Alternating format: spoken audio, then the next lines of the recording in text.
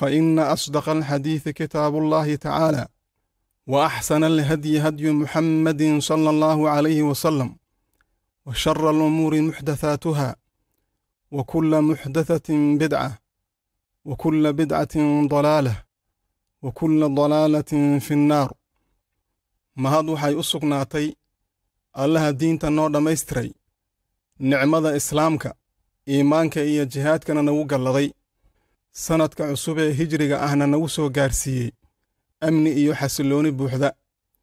Waxaan marka hore ummadda islaamka guud ahaan meel walba oo ay dunidu kaga nool yihiin ayna ugu horreeyaan halyeeyada mujaahidiinta ee ku jira huquurta islaamka u dirayaa salaan. Allahna waxaan weyddiisanayaa inuu naga aqbalo camalkeenna suuban jihaadka ribaadka istishhaadka iyo tadxiyaadka allaha dartiis loo samaynayo marka labaadna waxaan ugu hambalyaynayaa uguna bishaaraynayaa jabka lixaadka leh ee soo gaaray gaalada saliibiyiinta iyo murtadiinta dabadhilifyada u ah jabkaasoo aan allah ka rajaynayno inuu noqdo bilowgii burburkooda. Camaliyaadka mujaahidiinta ayaa maalinba maalinta ka dambaysa sii laba jibaarmaya duulaannada iyo kamaa'inada ayaa sii xoogaysanaya. Halka ay murtadiintu ku jiraan burbur iyo liidnaan xaalad dacfi ahna ay haraysay xukuumaddii afraad ee riddada ayaa qarka u saaran inay burburto. Eregeygii lixaad ee waxaa loogu yeero qaramada midoobay soo dirto ayaa si dirqi ah ku badbaaday. Taageero kasta oo ay ka helaan saliibiyiinta tababar kastaoo la siiyo iyo taakulo walboo loo ballanqaado haddana wax u hirgelay ma jiraan. Dadaalkoodiina wuxuu noqday tacab khasaaro himilooyinkoodiina waxay noqdeen hal bacaad lagu lisay. Waa murtadiin dhulo shisheeye laga hoggaamiyo dhan walbana laga hago dullina ku habsaday haymannada saliibiyiinta etoobiyana hoos taga waa murtadiin aan xataa go'aannadooda siyaasadeed u madax bannaanayn. Tallaabo kastoo ay qaadaanna tahay inay xabashida saliibiyiinta ah ka idin qaataan. Tusaalena waxaa idinkugu filan. Waxa hadda ka socda kismaayo iyo sida ay etoobiya u maamulayso. Tallaabo kasta oo ku saabsan doorasho kusheegga murtadiinta ee halkaas lagu qabtay. Sidoo kale waxaa qalqal iyo qalaanqal ka taagan yahay gobolka galgaduud kadib markay ku soo daabuleen ciidamo cadow ku ah diinta iyo dalka. Adis ababa ayaa qibladooda ah waa halka ay u qaylo dhaansadaan marka ay isqabqabsadaan waana halka ay garab iyo gargaar garsoor iyo garnaq intaba ka raadsadaan.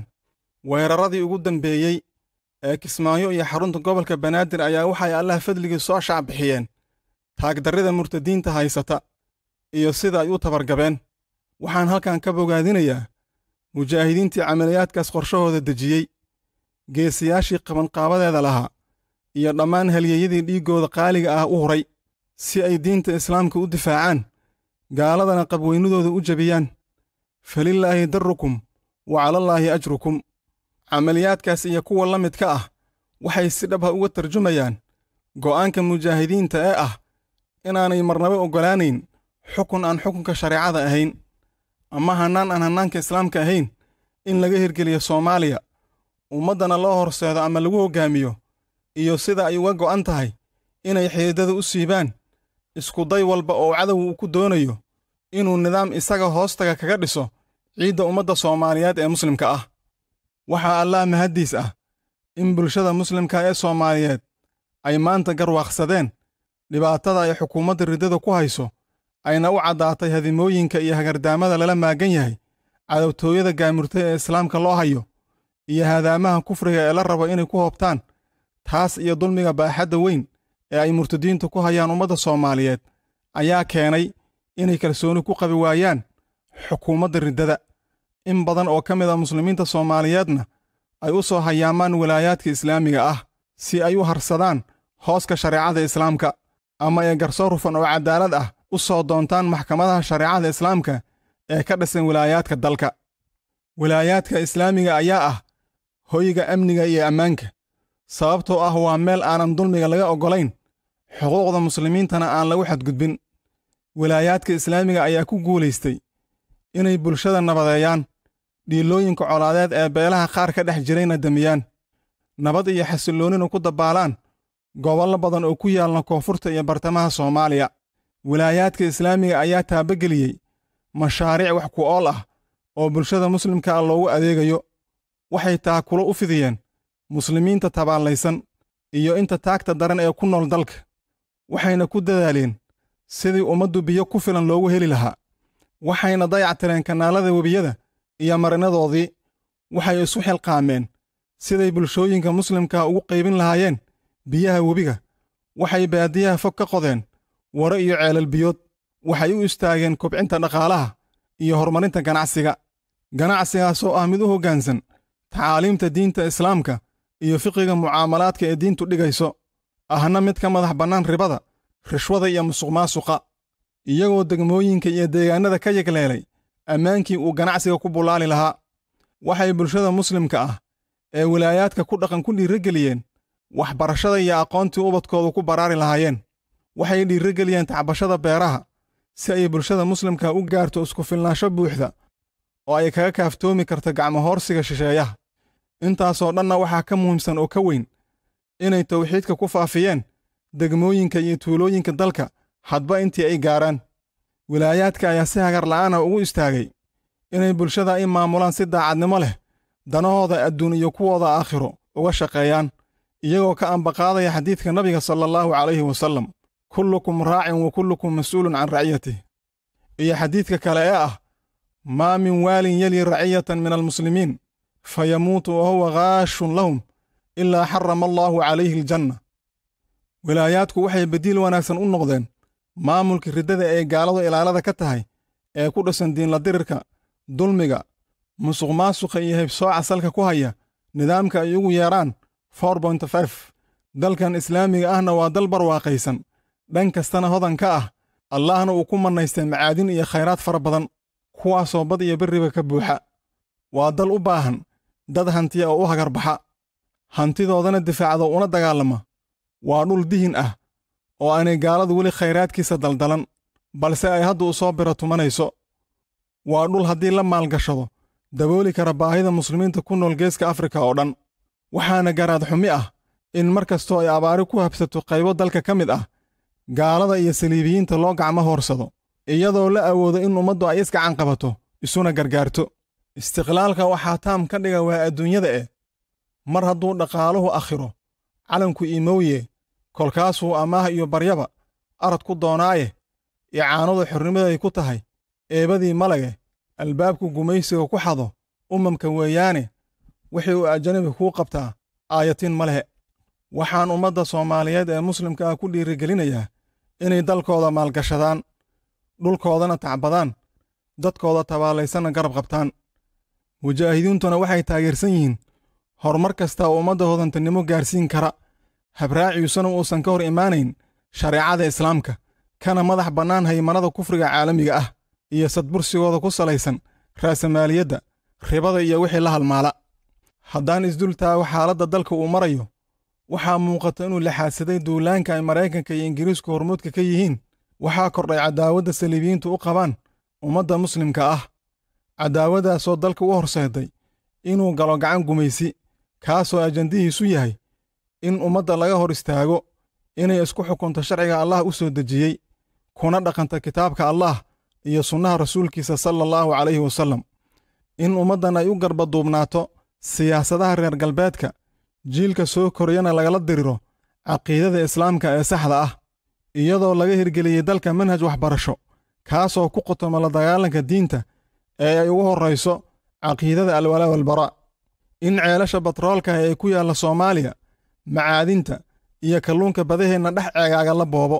Baddana lagu wareejiyo gumaystaha kenya iyo etoobiya in dalka laga hirgeliyo dowlad kusheeg u taagan hirgelinta qorshaha saliibiyiinta iyo awood ciidan oo ilaalisa masaalixdooda. Ajandahooda gumaysina u meel marisa maraykanka iyo ingiriisku waxay doonayaan inaan duulaanka saliibiga ah ee laba lixaadsaday aan u hoggaansanno oo marna aanan iska difaacin. Waxay doonayaan inaan gumaysiga saliibiyiinta afrikaanka ah ee kenya iyo etoobiya ugu horreeyaan aan iska dulqaadin. Waxay doonayaan inaan gumaadka iyo xasuuqa ay muslimiinta ku hayaan indhaha ka daawanno gacmahana ka laabanno dhagahana ka oodanno waxay doonayaan inaan gardarradooda iyo gaboodfallada ay har iyo habeen ummaddeenna kula kacaan aqbalno oo marna aanan ka gubanoo ka gelgelan. Waxay doonayaan inaan gaalada u gacmo horsanno iyadoo khayraad nooc walba leh uu geyigeenna ceegaago. Waxay doonayaan inaan hoos tagno koox murtadiin ah oo loo soo igmaday taabagelinta masaalixda cadowga gaalada ah. Waxay doonayaan waa inaan dulli iyo liidnaan ku waarno aanan xumaanta ka dhiidhin dabinnada ay qoolayaanna ku daadanno si ay dalka ula wareegaan dadkiisana dusha uga rartaan. Waxay inala rabaan inaan diinteenna iyo caqiidadeenna ka tanaasulno toodana ku qanacno dimuquraadiyaddana ka dhiganno manhaj haga nolosheenna. Waa dimuquraadiyadda bannaynaysa wuxuu allaah xarrimay xarrimaysana wuxuu allaah ummadda u xalaaleeyey. Waa dimuquraadiyadda bannaynaysa diinta in laga ridoobo faaxishada iyo nooc kastoo xumaan ahna ummadda lagu dhex faafiyo waa dimuquraadiyadda dhiirigelinaysa in gumaystaha dalka lagu soo dhoweeyo laguna maamuuso kiniisado iyo kalaabyona looga dhiso. Waa dimuquraadiyadda gaalka la simaysa muslimka maqaam iyo maamuusna siinaysa. Waa dimuquraadiyadda murtadka iyo munaafiqa la simaysa mawixidka waa dimuquraadiyadda aan ku dhisnayn cadaalad iyo hufnaan balse ku dhisan hannaanka aqlabiyadda una hoggaansan hadba aqlabiyaddu waxay hawaysato hiyigeeduna raaco halka himilooyinka mujaahidiintu ay higsanayaan una halgamayaan ay tahay in sharcigaa allaha la hirgeliyo oo laysku maamulo. Sharcigaasoo aanan marna aqbalayn taswiye iyo tanaasul masdarkiisuna yahay kitaabka allaha iyo sunnada rasuulka sala allahu calayhi wasallam. In loo howlgalo soo celinta khilaafadii islaamka ee ku dhisnayd manhajka nebiga sala allahu calayhi wasallam. In laga hortago cadowga saliibiga ah ee ummadda muslimkaah ku soo duulay dhulkoodiina xoogga ku qabsaday. In dhidibada loo taago mujtamac muslim ah oo midaysan iskuna duuban cisiga karaamada iyo sharafta ummaddana la dhowro. In la soo nooleeyo fariidada jihaadka lana xoreeyo dhulalka muslimiinta ee ku jiro gacanta cadowga saliibiga ah. In ummaddan muslimka ah ee cadaawuhu kala qoqobay qoloqolana u kala qaybiyey laysku soo dumo. Walaaltinimada islaamkana lagu soo dabaalo iyadoo lagu midaynayo raayada tawxiidka. In la dhowro hantida ummadda muslimka ah si ay u gaarto isku filnaansho buuxda oo ay kaga kaaftoomi karto haymannada saliibiyiinta nooc walba oo ay yihiin. In ummaddan dadkeedii la laayey dalkeediina la xaraashay hantideediina la boobay lagu baraarujiyo inay cadowga saliibiga ah iyo dabadhilifyadiisa la dagaalamaan iskana dulqaadaan. Bulshada muslimka ah waxaan leeyahay mashruuca islaamiga ah ee allaha idinku sharfay si buuxda u garab istaaga si aad xal waara uga gaartaan colaadaha sannadaha badan soomaalidu la daalaandhicaysay gumaystuhuna hurinayey dunidu waa maalmo kooban ee weligiin dulinnimaha qaadanina diintiinna iyo xorriyaddiinna u dagaalama. Kuwa idin soo hawaystay ee dhulalka fog idinkaga soo duulayna iska dhiciya ilaa aan diinteenna dalkeenna iyo deeqdeenna u madax bannaanaanayno wiilashiinna mujaahidiintana hiil iyo garab u noqda. Waxaan taxkiimka sharciga allah ahayna ha aqbalina waxna ha dhaafsiisanina waxaad ka shaqaysaan siduu idinku soo gaari lahaa guryihiinnana uga heli lahaydeen isku xukunka shareecada islaamka. Federaalka la dagaalama waa qorshe gumaysi waa qabyaalad cusub oo la doonayo in ummadda lagu kala qoqobo. Dalkana etoobiya iyo kenya loo hosgeeyo waxaan ummaddeenna muslimka ah ku wargelinaynaa in mujaahidiintu ka soo horjeedaan gaashaankana u daruurayaan go'aan kasta oo ka soo baxa maxkamad kushaagga caalamiga ah ee ku saabsan loolanka badda soomaaliya ka taagan. Waxaan caalamka u sheegaynaa in badaheennu ahayn kuwo gorgortan aan ka gelayno martina uguma noqonayno dowlado shisheeye.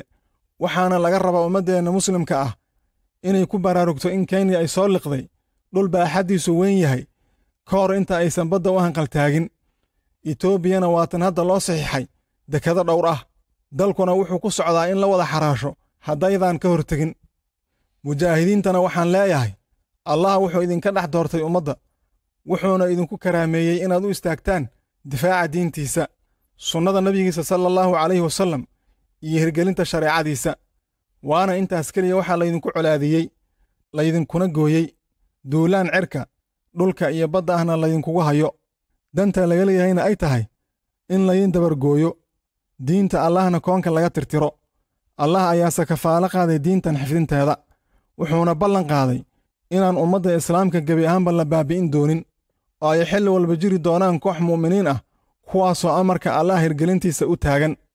Qaala rasuulullaahi sala allahu calayhi wasallam laa yazaalu min ummatii ummatun qaa'imatun biamri illaah laa yaduruhum man khadalahum walaa man khaalafahum xataa ya'tiyahum amrullaahi wahum calaa daalik bulshada islaamku maanta way garaadsatay wacyigeeduna wuu kobcay jihaadkuna wuu ka gudbay in awood lagu maquuniyo ama xoog loo sheegto. Cid kasta oo ka hartana ma tabi doono umana dhutin doono ishaaco lagu furo iyo dacaayado been ah oo laga faafiyo. Ee ku kadsoomina brobagandaha ay faafinayaan saliibiyiinta iyo murtadiinta dabadhilifka u ah. Dagaalkooda waad aragteen inuu ku soo koobmay duqaymo fulinimo ah iyo hanjabaad afka baarkiisa aanan dhaafsiisanayn. Waadna ogaateen inaynan ku sugnaan karin furimaha dagaalka waxaan allah ka rajaynayaa inaad arki doontaan insha allah guuldarrada iyo jabka cadowga uu kala kulmi doono furmaha dagaalka. Adinkoo ku ilqabowsan doono jabkooda ee sabra cadowga ilaahay iyo cadowgiinna la sabartama. Jihaadkiinna sii xoojiya idinkoo allah tala saaranaya u tadarrucaya acmaashiinnana khaalis uga dhigaya. Allahna ma dayacayo juhdigiinna iyo jihaadkiinna. Wallaahu macakum walan yatirakum acmaalakum. Waxaan kaloo idin dardaarmayaa inaad walaalihiinna muslimiinta ah u dhimrisaan nafurkoodana tixgelisaan. Waxaad ku dadaashaan inaad da'yartooda u naxariisataan. Kooda idinka da'weynna aad qadarisaan. Waayeelkoodana xurmaysaan. Maatada maxasta iyo masaakiintana garab qabataan ood u ixsaanfashaan. Araamisha iyo aytaamtana ka war haysaan idinkoo maanka ku haya xadiidka nabiga sala allahu calayhi wasallam assaaci cala alarmalati waalmiskiin kaalmujaahidi fii sabiili illaah aw ilqaa'imi alleyl assaa'imi annahaar qaala rasuulu llaahi sala allahu calayhi wasallam axabu annaasi ila allah anfacuhum linnaas wa qaala allahu tacaala wa axsinuu ina allaha yuxibu almuxsiniin ikhlaaska ku dadaala kibirka guruurka iyo cudbiga ka fogaada waxaadna ogaataa nasriga futuuxaadka iyo tamkiimka uu allah nagu mannaystay inay yihiin gallad uu allah nagu galladaystay iyo hibo uu allah inuu hibeeyey taasoo nooga baahan inaan allah ugu shukrino isbihinbihin iyo tawaaducna kaga guddoonno. Ugu dambayntiina waxaan idiin dardaarmayaa inaad isku duubnaataan garba siman ku dagaalgashaan umaradiinna adeecdaan cadowgana ku ad adkaataan. Qaala allaahu tacaala wactasimuu bixabliillaahi jamiican walaa tafaraquu waadkuruu nicmat allaahi calaykum id kuntum acdaa'an faallafa bayna quluubikum faasbaxtum binicmatihi ikhwaana wa qaala sala allahu calayhi wasalam wa ana aamurukum bikhams allahu amarnii bihin aljamaacatu wasamcu wataaca waalhijratu waaljihaad iscuskada islaamkaa la yidhi gebi ahaantiisa waa amar addoonkii muslima faray ilaaheeye axaadiista nebigay ku tima saad u aragtaane. Iskhilaafku waa naar jannona waa isu imaade. Aradkiiyo dadkuba waa dhismaha waxay u aayaane. Raganimo nimaan tacab ku arag aayar heli waaye istishhaada gobonnimo dhib baa lagu ilaashaaye. Rabbana akfir lana dunuubanaa wa israafanaa fii amrina wa habbit aqdaamana waansurnaa cala alqawmi alkaafiriin rabbanaa laa tusiq quluubanaa bacda id hadaytana wahab lanaa min ladunka raxmatan inaka anta alwahaab rabbanaa aatinaa fi ddunyaa xasana wa fi alaakhirati xasana waqinaa cadaaba annaar wsali allaahuma wsalim wbaarik calaa nabiyina muxamadi wcalaa aalihi wasaxbihi ajmaciin wa aakhiru dacwaana an alxamdu lilaahi rabi alcaalamiin